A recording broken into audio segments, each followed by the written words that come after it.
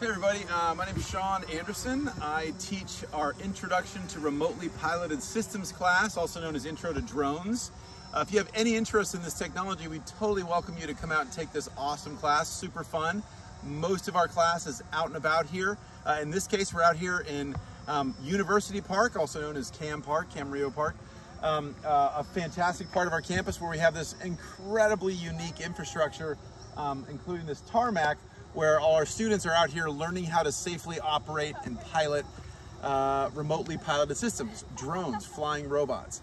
Um, this class will teach you how to safely operate this stuff, all the rules of the road, how to be compliant with FAA and all the other guidelines, and also how to collect data that really helps get us more efficient insights and more effective insights to a lot of the challenges that our world is facing. If you want to become a drone pilot, take our Introduction to Remotely Piloted Systems class. It's really fun.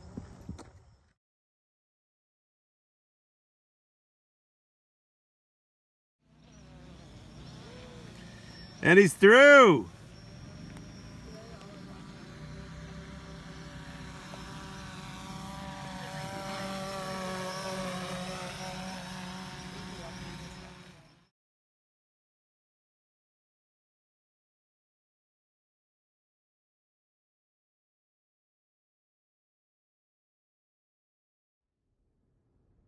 We use our aerial flights to create maps of the real world to help us understand what's going on.